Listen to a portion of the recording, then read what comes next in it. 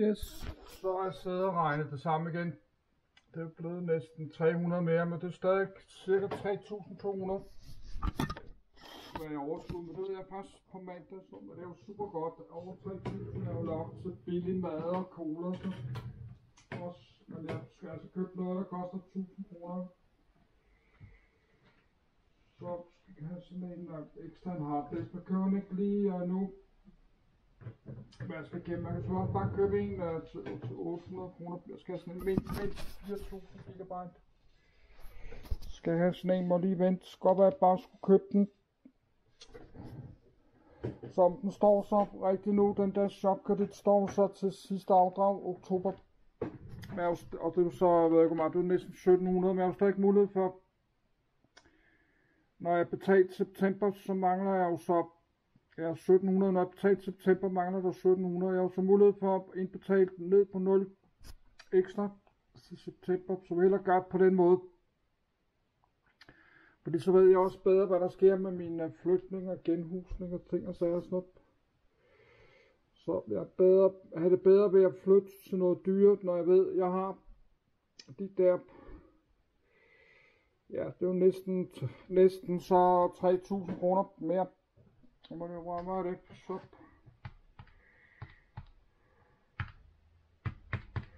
Og det er mange. Det er næsten 2.000 2.000 mere om måneden næsten. Så er der altså næsten 2.000 kroner nu, skal betale til den der shopkredit. Som kan skal øh, betale mere nu. Så der er 2.000 hele tiden. Altså der er så forskel på, øh, om jeg havde købt en mobiltelefon til 300-400 300 om måneden, og en computer 500-600 kroner om måneden. Og jeg havde 1500, så nu bare 1500 kroner i gæld, jo. Så men altså forskel på at have 1500 gæld, og så jeg har også også uh, retskat af min YouTube-penge. Men på et tidspunkt, på et tidspunkt skal jeg også spare 50% op af min YouTube-penge, så når jeg har sådan en speciel opsparing af min YouTube-penge, så den er halvdelen, altså min retsskat er altså lidt, lidt under 40% af min YouTube-penge. Så skal jeg have sådan en uh, ekstra opsparingskonto, jeg har, hvor jeg putter halvdelen af min YouTube-penge ind, men det kan jeg ikke gøre nu. Så må bare betale uh, igen og som må være glad for at komme, og den kommer så til at falde, men det kan jeg se på mandag, kommer den til at falde øh, um, 60-70 kroner, men nu er det så, den anden afsted, uh, øh, den anden afsted næsten 300 kroner om måneden, så men uh, den der shopkredit, men der har også uh, forkortet en et måned sidste afdrag, er ikke november nu, det er så oktober nu. Og så har jeg købt 700 kroner på det, så det er derfor, så må du lade det være nu, og nu er jeg gemt det væk. Så må, øh, hvis jeg bruger flere penge, så må det være på min øh, kassekredit.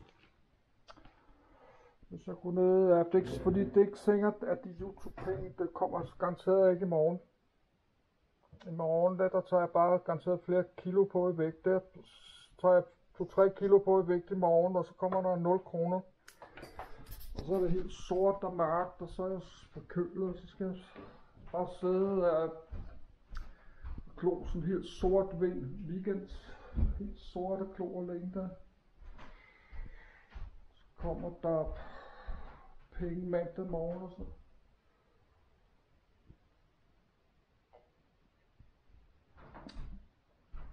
Så, så man prøver at med tiden få ændret det her til noget mere spændende. Det er ikke sådan, så spændende liv, jeg har nu, men nu er jeg jeg vil uploade det her, gå og se nu. Se Star Trek.